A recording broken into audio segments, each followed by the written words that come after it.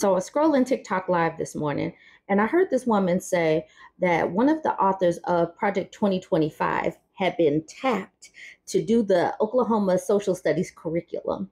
And I had to look that up immediately. So this is an article from the Daily Beast. Oklahoma's top education official who last month mandated that middle and high schools must incorporate the Bible and the Ten Commandments into their curriculum, unveiled a new plan this week to move his state's public schools even further to the right. Look at this purple highlighted section. Superintendent Kevin, I mean Ryan Walters plans to overhaul Oklahoma's social studies curriculum with the help of a committee that includes a laundry list of right wing think tank veterans and influencers, including Heritage Foundation President Kevin uh, Roberts, whose work on the presidential policy proposal document Project 2025 has gone viral in recent days. Also included on the list is conservative radio host and media personality Dennis Prager, whose empire of educational YouTube videos named Prager University, despite its lack of accreditation, has been likened to ultra nationalistic propaganda shown in authoritarian countries like North Korea and China. Walters promised his revisions to the social studies curriculum will eliminate DEI indoctrination and return teaching back to the basics in Oklahoma. I am so glad I have left that state and poor poor students. These poor students are going to not be prepared for the real world if and when they ever get out of the bubble of Oklahoma. Teachers' unions have been rewriting history, teaching students to hate America, but not under my watch, Walters added in a statement to the conservative leaning Washington Examiner. Our goal is to give Oklahoma students an education that focuses on history, not indoctrination. The executive committee that we've assembled are experts in American exceptionalism, our founding fathers, and historical documents like the Bible.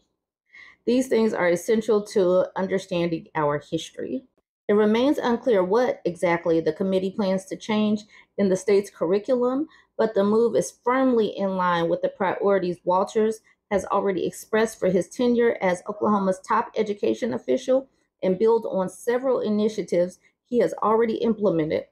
PragerU videos, remember, that are not accredited, for example, were already being played in Oklahoma classrooms after Walters approved them last September. These non accredited videos being played in schools in Oklahoma. The inclusion of Roberts, the creator of Project 2025, is sure to prove especially controversial.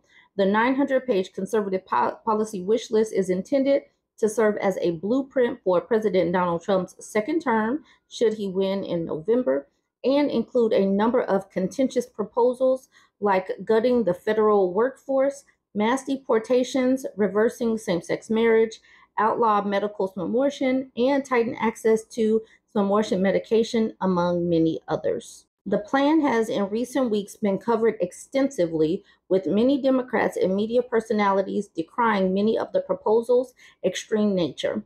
Roberts also found himself in the middle of a personal firestorm when he said during a cable news interview, We are in the process of the Second American Revolution, which will remain bloodless if the left allows it to be. In recent days, Trump and other Republicans have tried to distance Trump from Project 2025. It's not working. He said he doesn't know them people. He's like, I don't know them people. He's a liar. He's a liar. If he's talking, he's lying. If he's truth socialing, he's lying. But um, here is um, here's a video of him talking to the Heritage Foundation back in 22, where he admits that he knows that they are laying a foundation for this mandate And is going to hell.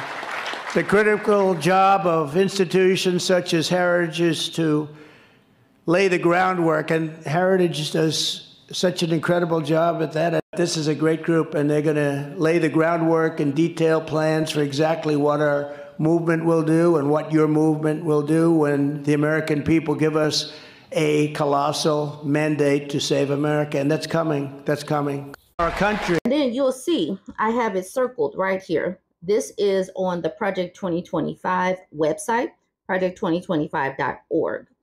in this document, in this website, because I know that people are not going to read that 900 page document. They're just not going to. But they say, and I underlined it right here the next conservative president will enter office on January 20th, 2025, with a simple choice greatness or failure. Now, who are they talking about? if they're saying the next conservative president, and currently there's two people running for president, um, one is Trump, one is Biden. Who could Project 2025 be talking about? They're sitting up here saying that they are not um, connected to Trump. Trump is saying that he's not connected to 20, uh, Project 2025. They're all some liars. So here's Project 2025's Twitter page. It says, preparing to support the next president, the next conservative president, with over 110 organizations for victories through policy, personnel, and training. Help decimate the deep state. So they say the next conservative president. Who are they talking about? Then they put out a tweet myths versus facts about Project 2025. We are not affiliated with former President Trump. Why are these people lying? And then they they sit up and talk about they're not trying to end no fault divorce. They're not trying to do a complete ban on abortions. They these people are some absolute liars. They have the whole mandate right there, but they know that people are not going to read through this mandate. Um, but anyways, I just want to um, show you guys how these people are simply trying to distance themselves, even though on their um, website they talk about how President Trump or former President Trump put through like 67% of their initiatives within the first year of their term. That is literally on their Project 2025 website. These people worked in his administration. Like 80% of the people that worked on this mandate worked in his administration. These people are awesome liars. All right, jump in the comments. Let me know what you think. Let me know what you think about Oklahoma curriculum, including the authors of this project. I mean, I keep talking about the fact that all of this is is all connected. These people in these forced birther Christo-fascist states are literally trying to take us to a theocracy, and they're turning their states into a theocracy. So go ahead and chime in. Let me know your thoughts. Like, comment, and share. So, a woman sent me an email with this story that happened out of the UK. It says Bushey crossbow unalivings, suspect taken to hospital after being located as it happened. Manhunt was launched after Carol Hunt, 61, and two of her daughters, Hannah and Louise, were found in their home where they later unalived. The woman who sent me this email says more info from the UK. Three women were unalived by a man with a crossbow. It's getting medieval here, although this isn't the first crossbow um, unaliving of recent times. They were the wife and daughters of a BBC racing correspondent. I say that because it means that it'll be even more high profile. I didn't understand why these women were targeted, but now it transpires that one of the women had broken up with the with that man. The suspect had also been in the British Army. His brother is serving a life sentence for unaliving someone. Men are at their most dangerous when you leave them. There are some comments in the YouTube streets which say that women need to be careful who they date. However, I believe that this is being said because the the unaliver seems to be of mixed origin. Is getting wild in these UK streets. We say this all the time when a woman leaves or when she's pregnant. It is a very, very dangerous time for women.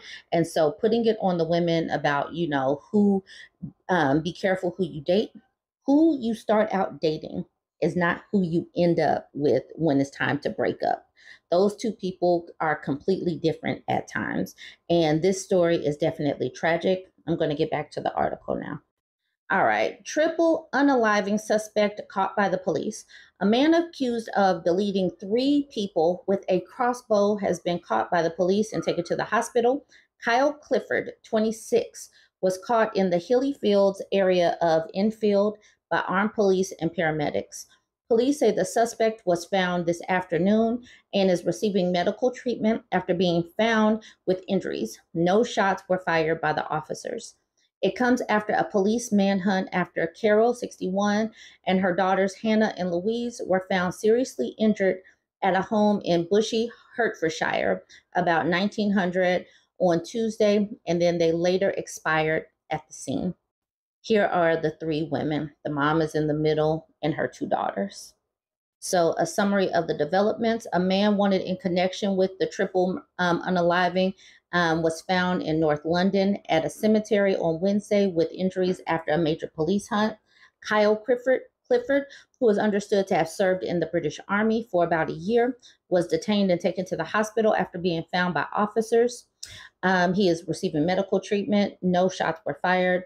Clifford was named as a suspect by Hertfordshire police after the deaths of those three women. At this stage, police believe the suspect was known to the victims and no one else is being sought in connection with the investigation. Chief Superintendent John Simpson from the Hertfordshire Police told reporters the suspected unalivings were believed to be targeted. Tributes have been paid to three women taken out in an utterly devastating crossbow attack. Sue Kinhindi, 60, who lives nearby, said they were the loveliest, gentlest family. They were the meekest human beings. They did not deserve this. They were beautiful souls. Even if they were not meek, even if they were ugly, even if they were not particularly kind or whatever, no one deserves to be taken out simply because you broke up with somebody. Pupils at schools, including St. Michael's Primary School in Enfield, were kept inside as a precaution during the manhunt on Wednesday afternoon. All right, well, he has been taken into, um, he's been taken in, but it just goes to show that breaking up with somebody, these people are failing and flailing, and they are taking people out with them. So now this person is going to be going to jail like his brother, and three women are gone. All right, go ahead, join the conversation. Let me know what you think about this one. Don't forget to like, comment, and share. So, if you've been anywhere near the news or social media, you know that many states are under a heat advisory. Texas is definitely feeling the heat. Anger mounts in southeast Texas as crippling power outages and heat turn deadly. Frustrations are mounting across the southeast Texas as residents enter a fourth day of crippling power outages and heat a combination that has proven dangerous and at times deadly as some struggle to access gas, um, food, gas, and medical care. Nearly 1.3 million homes and businesses across the region are still without power after Beryl slammed into the Gulf Coast as a Category 1 hurricane on Monday, leaving at least 11 people dead across Texas and Louisiana. The storm continues to threaten threaten flooding Thursday in New England. Governor Greg Abbott has requested an investigation of CenterPoint Energy, Houston's primary utility company that is responsible for restoring the vast majority of outages. Electric companies in the wake of the outages, Lieutenant, Lieutenant Governor Dan Patrick said during the news conference on Thursday. The investigation will look into what the problem were in the utilities' response to Hurricane Beryl. I'm sure we will find that there are things they could have done better, Patrick said. Many residents are sheltering with friends or family who have power, but some can't afford to leave their homes. Houston City Councilman Julian Ramirez told CNN Wednesday. And while countless families have lost food in the warming fridges, many stores are still closed, leaving government offices, food banks, and other public services scrambling to distribute food to underserved areas. As residents desperately try to cool their homes with generators, carbon monoxide poisoning has become a serious concern. At least two people have died in Harris County from carbon monoxide poisoning, and fire departments have received more than 200 carbon monoxide poisoning calls in 24 hours. Beyond that, a 74 a 71 year old woman died near Crystal Beach after her oxygen machine ran out of battery power and her generator shut down. Heat related medical emergencies are also spiking in Houston as 90 degree temperatures blanket southeast Texas, Fire Chief Samuel Pena said. The heat index, a measure of how the body feels under both heat and humidity, could reach 106 degrees in some areas, a life threatening scenario for people without adequate cooling. The dangerous heat, driven by human caused climate change, hasn't been limited to Texas. At least 28 heat related deaths in the West have been reported since July 1st as a record-breaking heat as record-breaking heat waves beat down on um, states including California, Oregon, and Arizona. But some people, more than others, believe that climate change is not real. And some states, like Texas, are not preparing themselves adequately because they don't actually believe in climate change, despite the fact that we can see evidence of climate change each year. Now, if you remember, Texas had a bit of a um, of, of a situation um, during a winter time. Y'all remember when Ted Cruz was escaping the winter heat and he went to Cancun? Ted Cruz flew to Cancun, Mexico on Wednesday with plans to stay through the weekend as hundreds of thousands of his constituents with, without power and heat in Texas after a winter storm caused by deadly outages. Addressing reporters outside his home in Houston on Thursday, Cruz admitted his original intentions, but claimed he started having second thoughts almost the moment I sat down on the plane. As parents, we have a responsibility to take care of our family, but I also have a responsibility that I take very seriously of fighting for the state of Texas. Frankly, leaving when so many Texans were hurting didn't feel right, and so I flew back on the first available flight I could take. It was obviously a mistake. In hindsight, I wouldn't have done it. He said he understood why people were upset, but suggesting the venom and vitriol of Twitter and the media fed into it. So, yes, I, I'm wondering if he stuck around during this heat wave or if he flew out and went someplace cooler because this is Houston. I'm sure that I, I think I remember I just said Houston is experiencing these um, these outages currently. And it's all because of Texas's power grid. That's what happened back in 2021. And I'm wondering if it is the same reason for what is going on right now. Are they prepared for climate change and all of these issues of extreme um, extreme weather? Just a reminder, the power outages tormenting Texas and uncharacteristically Arctic temperatures are exposing weaknesses in an electricity system designed when the weather's seasonal shifts were more consistent and predictable, conditions that most experts believe no longer exist. So these these um, companies really need to update their grids and these systems. But if you live in a state where the people, the politicians deny that climate change is a thing and they don't update their systems, this is why these things are continuing to happen in Texas. They do not believe that climate change is real. They are climate change deniers. Anyways, going back to Texas and the heat. Several members of Texas Public Utility Commission urged company officials to improve communication as part of rebuilding trust with customers in the hurricane damaged areas. Infrastructure is going to break, said Thomas Gleeson, chairman of the state commission. Things are going to happen, but if people feel like they're being effectively communicated with, it makes a lot it makes it a lot easier to go through. The company started tracking Hurricane Beryl nine days before the storm made landfall. Just after July 4th, about three days before the storm hit the Texas coast, Ryan, the CenterPoint executive, said the utility put out its first request for 3,000 mutual assistance workers to pre-position ahead of the storm. As the path of the storm moved east and closer to the Houston area in the final days before landfall, CenterPoint said it increased the request for repair to crews to 10,000. The utility said Thursday morning it would begin providing estimated restoration times on its status tracker. CenterPoint Vice President of Operations Darin Carroll told CNN affiliate KHOU the pace of repairs will begin to slow as the community moves into deeper disaster recovery. I'm skipping a little bit, but it says three months before Hurricane Beryl hit Texas, CenterPoint Energy estimated it would need $2 billion to harden its system against worsening extreme weather. The company reported it needed to restore power after 15 extreme weather events between 2019 and 2023, the longest restoration time to date after the deadly winter storm and brutal cold snap in February 2021, when it took 116 hours and 40 minutes to restore power to more than 8 million impacted customers. So, to that, I say this is what politicians need to be concerned with. Texas, a forced birther state, needs to get out of women's uteruses and handle their infrastructure. Get out of uteruses and handle your infrastructure. Leave women alone and actually deal with the things that actually deal with all people, no matter their religion, no matter their beliefs or politics. And to that, um, go ahead, jump in the conversation. Let me know what you think. Don't forget to like, comment, and share.